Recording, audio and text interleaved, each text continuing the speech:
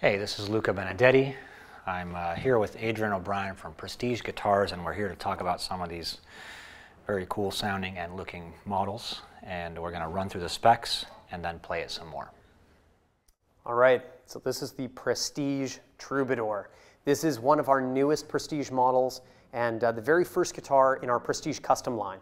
So as you can see, it's one of our standard solid body shapes and, and builds only this guy is totally hot rodded out. Uh, so we'll start right up here at the headstock. We've got a set of 18 to 1 Grover tuners, and all the hardware on this guitar is nickel. Um, so coming all the way up, we've got the 18 to 1 nickel Grover tuners. We've got a TUSQ XL 1 and 11 16ths nut. Um, the entire neck headstock on this guitar is solid mahogany. So we use a three-piece mahogany build. We take the center piece of the neck and we reverse grain it for better stability.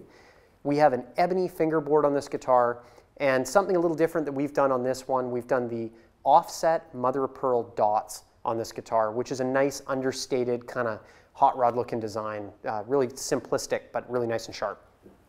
So this guitar has a matte satin black finish all the way down the neck and all the way, uh, you know, front, back, and sides on the body. And one really cool feature that we don't do on all of our guitars, but in this particular line we do, is the volute in the neck, which is just a, just a nice touch that we've done on this one.